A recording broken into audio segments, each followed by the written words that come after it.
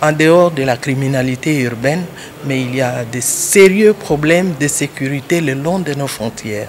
Les frontières terrestres, les frontières liquides, il faudrait qu'on s'y penche parce que au moment où tous les efforts sont tournés vers l'est du pays, nous ne voulons pas être surpris de l'autre côté, de l'ouest, où la sécurité des populations et la sécurité de nos frontières est mise à mal. À Matadi, les problèmes des enseignants, c'est un problème sérieux et on doit y apporter des solutions idoines, mais dans la paix, dans une démarche pacifique, dans une démarche qui doit tenir compte des préoccupations des enseignants parce que l'éducation, c'est le demain de, de notre pays, c'est l'avenir de notre pays. Si l'éducation n'est pas assurée, si les enfants ne sont pas bien éduqués, si les enfants ne sont pas bien instruits, l'avenir du pays est aussi mis en jeu. Nous avons salué l'esprit d'écoute du président et sa manière de s'impliquer et devant nous, il a pris certains contacts directs. Nous osons croire qu'il y aura une solution idoine.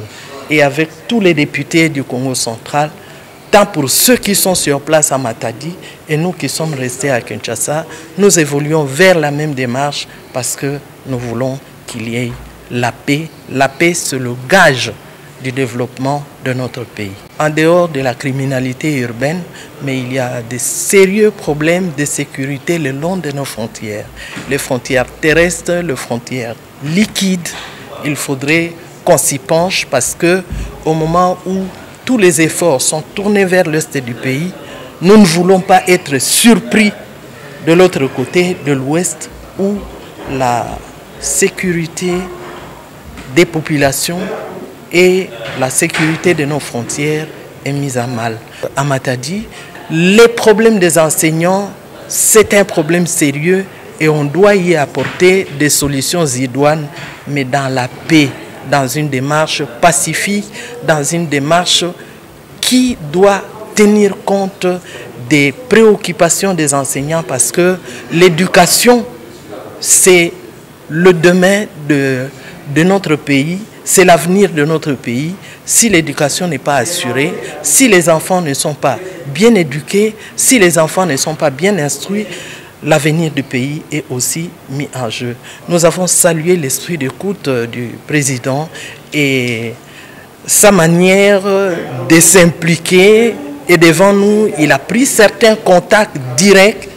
Nous osons croire qu'il y aura une solution idoine. Et avec tous les députés du Congo central, tant pour ceux qui sont sur place à Matadi et nous qui sommes restés à Kinshasa, nous évoluons vers la même démarche parce que nous voulons qu'il y ait la paix. La paix, c'est le gage du développement de notre pays.